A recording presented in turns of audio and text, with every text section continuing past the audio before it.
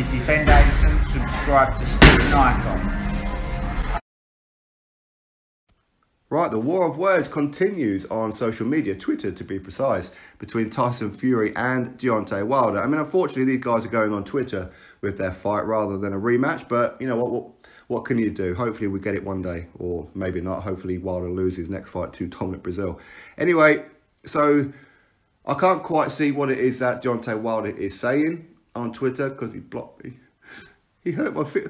Come on, Wilder, unblock me, bruv. Anyway, so Wilder, he's going at um, Tyson Fury. He's saying how Tyson Fury is boring and how he's nothing in America without Deontay Wilder.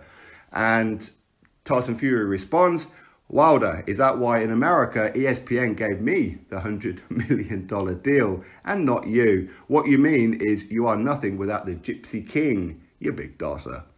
Um, again, I don't quite know what it is that uh, Wilder responded with. Um, I've heard some kind of inklings as to what it is with um, Wilder saying how this $100 million is not real and he's um, everything is based on Wilder's name, all that kind of thing. That's what I'm led to believe.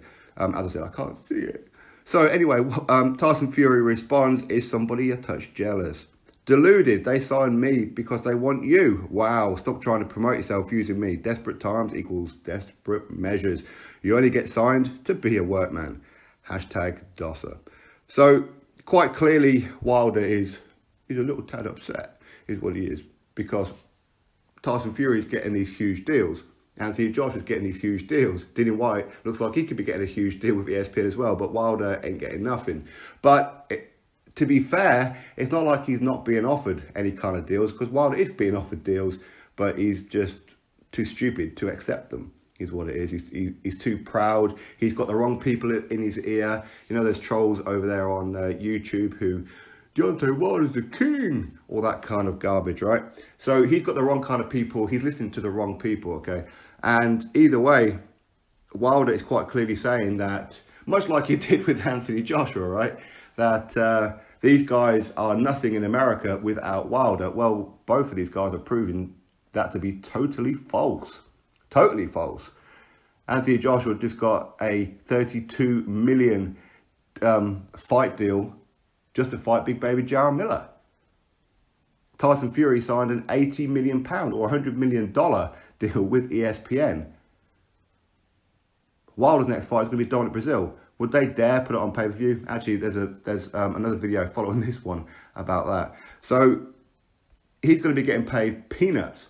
He's left at the bottom of the barrel. And again, he's fallen back behind the likes of Errol Spence, Mikey Garcia, Manny Pacquiao, Adrian Broner. The list goes on of high earners.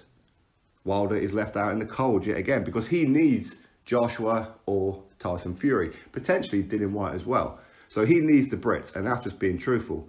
Um, but Wilder's not very happy. But either way, Tyson Fury puts him back in his place, saying, yeah, that's why they gave me the $100 million deal and not you, because in America, everyone needs you. Yeah, radio. So anyway, you drop your thoughts about it. Is Deontay Wilder a touch jealous, a touch deluded? Personally, I think, yeah. Drop your thoughts below, click thumbs up, and of course subscribe. Catch you all on the next video.